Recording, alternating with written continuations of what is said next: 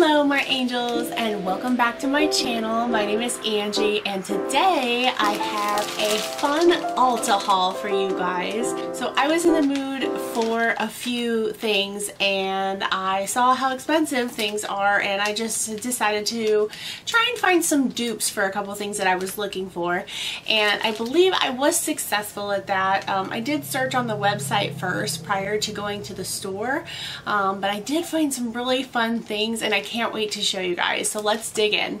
Now before I get into the dupes that I found, I did want to address my hair. So I had my hair done yesterday and um, I did not request Daenerys Targaryen, but I got Daenerys Targaryen. So I'm just going to embrace it for like a week or so and see, you know, how things work out. I did end up buying a purple shampoo. Now I've used this one. This is the one actually that I used when my hair was more golden blonde.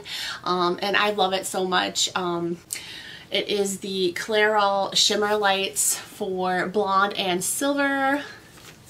And it's kind of smashed but I used it once today already um, because there was still some like toner in my hair I think.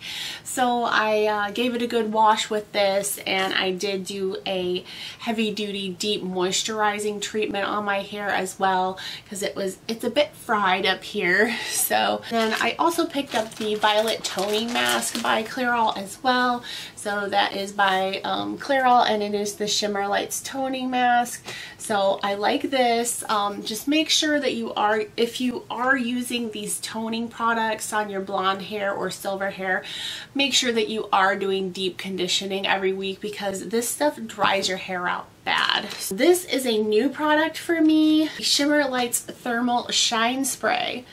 So I decided to try this um, because I do blow dry my hair a lot. I like to use the straightening iron. I like to use the curling iron. So I wanted to get a protective thermal spray for my hair since it is so dry. So those are for this whole situation so we'll see how that goes. Now the first dupe-ish product that I picked up is this pineapple exfoliating powder by Good Molecules and I was looking for a little bit cheaper of an exfoliating um, cleansing powder for Dermalogica.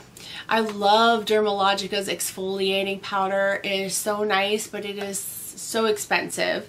Um, this one, let's check the receipt here. This one only cost me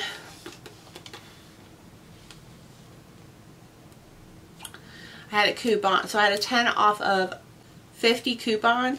So it ended up being $13.39. So you can't beat that. Whereas like Dermalogica's is like $50 I think. 40 50 no it's definitely more than 40 it's closer to 50 um, and then when I was over there looking at actually when I when I was looking at the reviews for this, um, people were saying they loved this and they also loved the Good Molecules serum. So I started investigating this brand. I've never used Good Molecules before, never even heard of them.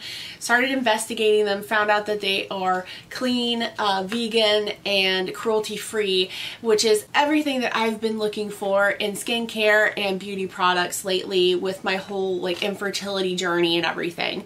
So, um, I looked into some of the serums and I did end up picking up a couple of their serums.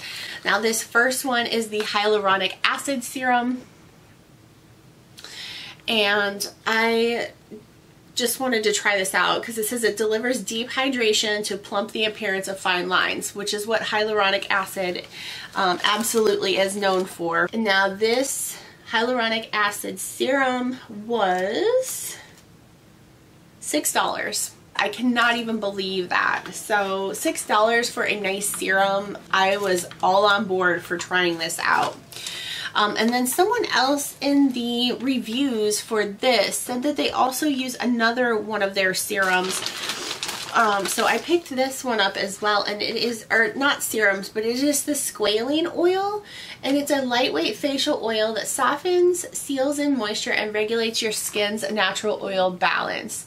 So I got the squalene oil to go along with the hyaluronic acid serum. and the exfoliating powder. So I am so excited to give these a try. Um, I've I had never even heard of squalene oil before. Um, hopefully I'm saying that right. But there was a lot of positive reviews for good molecules squalene oil so I definitely wanted to try it out. Now the squalene oil was $8 so that came to $8 so can't beat that for a nice facial oil and serums. Um, and then when we were over there looking at the like clean skin care um, products, they also had um, a, a huge favorite of mine. It's always a favorite of mine, and that is the Pacifica brand. Now Pacifica, they were clearancing out some Pacifica items and I was super excited to see that. Um, so I ended up picking up a few things that I saw um, and one of those is these um, glowing facial removing wipes in the, the orange vanilla and gly glycolic acid. And these were on clearance for a dollar nine, no, two forty nine. sorry. these were on sale for two forty nine. They were regular price. It doesn't say, but they were like well they were close to like seven or eight dollars. So these were on clearance and I was excited to see that. I wish that they had had more but you know you can't can't go wrong having extra makeup removing wipes on hand. They also had a um, mask that was a dollar ninety nine, and that is one of the kale and charcoal uh, this is a sheet mask that they had this was the only one that was sitting there, so I grabbed it up, of course, because I love their kale and charcoal detox line. And then they also had about three or four of the C and C Love serum. And this is a vitamin C serum by Pacifica. And it also has uh, marine extracts in it. So I've used this in the past. I really liked it and I had planned on purchasing more. Um, this is normally close to $17 I think and I got it for $8.99 on clearance. So cannot beat that. Now last but not least I was looking for a good concealer. I opted for this e.l.f. Hydrating Camo Concealer and I hope that this does a good job. Um, I have the other e.l.f. concealer that is a more matte and I was not pleased with that one. It's okay for like a few like really dark blemishes on the face, but it is not, the matte one was not working for my under eye, which is what I'm predominantly wanted another concealer for because I am getting some dark circles um, that are a concern. I've been treating them with like skincare and stuff. Um, and then I want a concealer that does not, you know, settle into my fine lines under my, uh, or in my dark, dark circles.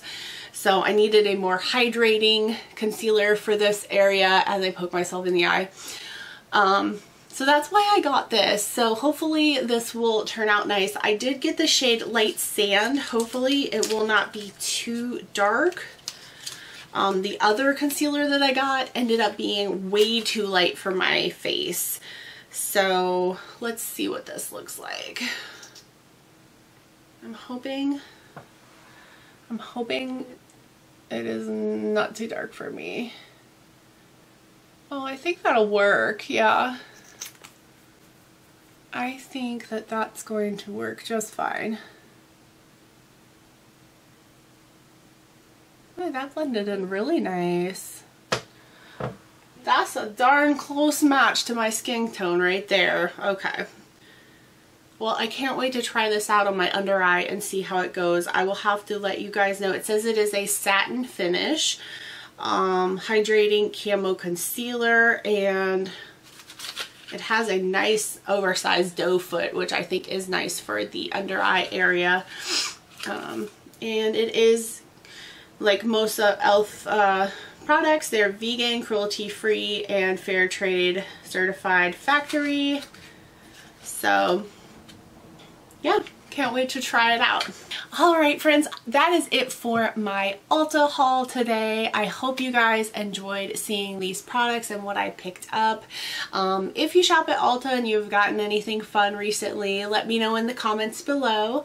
Uh, let me know what if you've tried any of these products and if you have, did you like it? Did you not like it? You know, what were your thoughts on um, the product that you tried? And I will see you guys in the next video.